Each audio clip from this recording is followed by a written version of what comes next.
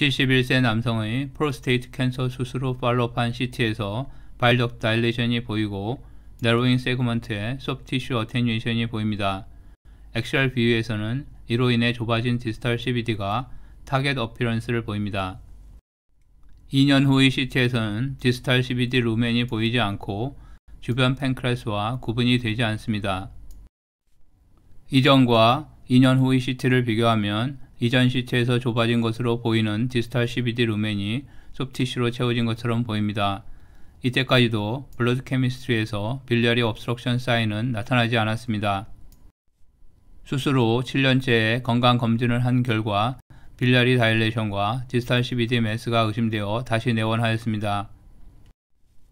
follow prostate MRI와 함께 얻은 upper abdomen의 T2-ATD 이미지에서 distal CBD의 irregular serpentine structure가 보이고 XR 뷰에서는 처음 CT에서처럼 target appearance를 보입니다. 이어서 시행한 pancreatobiliary MRI의 thin section T2-ATD 이미지에서는 디스탈 CBD 루멘의 페플러리 리전이 좀 더 분명하게 관찰됩니다. 정지 영상에서 보면 papillary shape의 병변이 CBD 루멘의 타겟 어피런스를 나타내고 ampulla까지 extension 한 것을 볼 수 있습니다.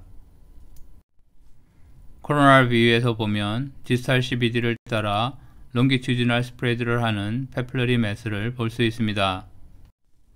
그런데 이 환자는 prostate MRI를 시행할 당시 ECA MRI와 pancreaticobiliary MRI의 HBA MRI를 비교할 수 있는 경우였습니다. ECA MRI에서는 발덕트 월이 아우터 월이 하이퍼 이넨스먼트를 보여 targetoid appearance가 관찰됩니다.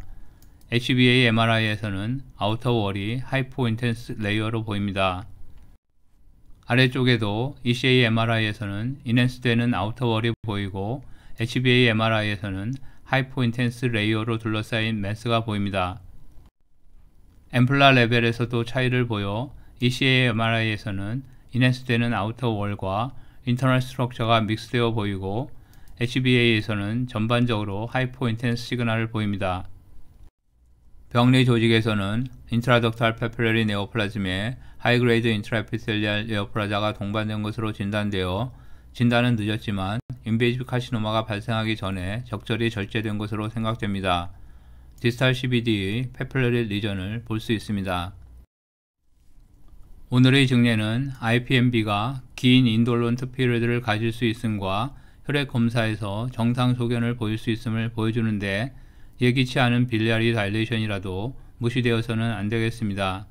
초음파와 thin section T280 이미지는 intraductal pathology를 보여주는데 유용한 검사이고 extracellular contrast MRI와 hepatobiliary contrast MRI는 바일덕트 패스로지를 보여줄 때 서로 다른 양상을 나타내는 것을 알 수 있습니다.